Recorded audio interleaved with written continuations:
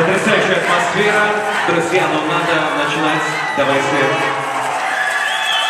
приступим и увидим первый танец финалистов.